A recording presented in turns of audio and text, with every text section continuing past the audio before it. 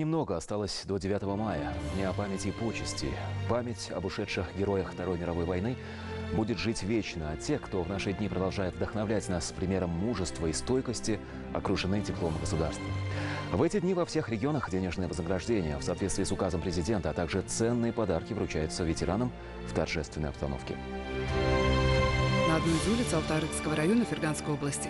Адрес живой легенды военных лет, участника Второй мировой, Туланбоята Шакирова. В свои неполные 18 он попал на передовую военных действий, испытал на себе все ужасы войны и благодаря милости Всевышнего остался живым. Вернулся в родной край. Ветеран органов внутренних дел 30 лет эффективно трудился в службе пожарной безопасности. Свой долгий жизненный и профессиональный путь, наполненный подвигов и самопожертвований, вспоминает с большой благодарностью. Ведь истинное счастье, уверен Аксакал, в том, чтобы жить ради спасения многих жизней. Денежные Денежное вознаграждение в соответствии с указом президента страны в размере 12 миллионов суммов и ценные подарки ветерану торжественно вручил Хаким Ферганской области. Руководитель областной администрации зачитал поздравительное послание президента.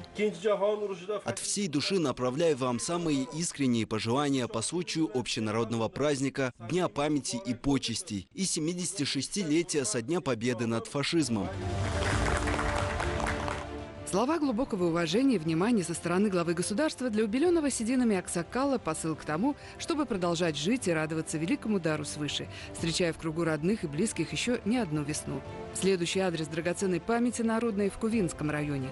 Утопающий в цветах дом словно торжественный гимн мирной и счастливой жизни. Здесь проживает 96-летний Маминджон Атта Ташматов. Этот дом он построил когда-то своими руками. Сегодня он полон детей, внуков и дорогих гостей. Ветеран делится воспоминаниями, чтобы следующее поколение из страшных и бесчеловечных событий военных лет извлекли уроки стойкости патриотизма, пропитанные бесконечной любовью к родному дому и родной земле.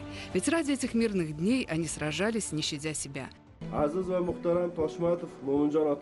В торжественной обстановке зачитано поздравительное послание президента, вручены материальное вознаграждение и ценные подарки. В 1926 году родился Ревджон Атамуминов, житель села Вудыл Ферганского района. На войну юноша добровольцем отправился в декабре 1943 года и участвовал в горячих схватках с фашизмом в Москве, Германии, Венгрии и Чехословакии. Он пережил страшные дни, голод и многие другие бедствия военных лет.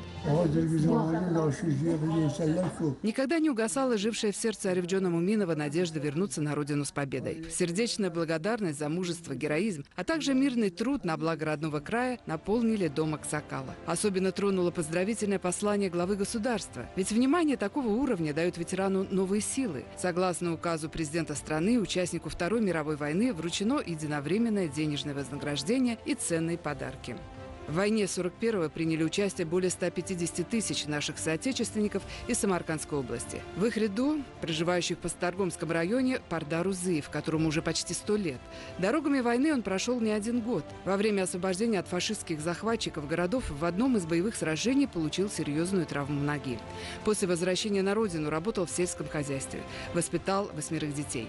Говорят, самое большое счастье для человека – это видеть свои плоды. Ветеран окружен постоянным вниманием и заботой заботы родных и близких. А по случаю приближающегося Дня памяти и почестей его дом посещают представители областной и районной администрации, руководители секторов, общественность. Участнику Второй мировой войны вручили ценные подарки и денежное вознаграждение. Хаким Самаркандской области зачитал поздравительное послание президента. Азиз ва мухтарам Рузиев Парда. Sizni umumxalq bayrami, xotira va qadrlash kuni hamda ikkinchi jahon urushida fashizm ustidan qozonilgan buyuk g'alabaning 76 yilligi bilan. Выражены в поздравлении слова уважения признательности за доблесть, мужество и отвагу. Достойный вклад в победу над фашизмом останутся в сердце ветерана как факт того, что его дела будут помнить всегда. Как вечный огонь будет гореть в сердцах нынешнего и следующих поколений память о подвигах тех, кто не жалел своих жизней во имя сегодняшнего мира. В эти дни встречи с участниками боевых сражений проходят и по другим адресам региона. Герои военных лет для молодого поколения – это живой образец для подражания, чтобы не прерывалась нить поколений, а яркий пример мужества и отваги питал корни новых всходов на созидательной ниве Узбекистана. Сегодня в Новоийской области проживает 15 участников Второй мировой войны. Двое из них в Набахорском районе. Бафа Боба Бахронова призвали на войну, когда ему было 19 лет. В соответствии с указом главы государства, убеленным сединами ветеранам оказывается всесторонняя поддержка и внимание. Денежное вознаграждение в размере 12 миллионов суммов и памятный сувенир торжественно вручили прошедшими суровыми тропами военных лет Бафобобу Бахромову. Ветерану также зачитано поздравительное послание президента. Sizni umumxalq bayrami xotira va qadrlash kuni hamda Ikkinchi jahon urushida fashizm ustidan qozonilgan buyuk g'alabaning 76 yilligi bilan chin qalbimdan samimiy muborakbod etib, o'zimning yuksak hurmat, ehtiromim va ezgu tilaklarimni bildirishdan g'oyat mamnunman. Qabul qilasiz tabrigimni.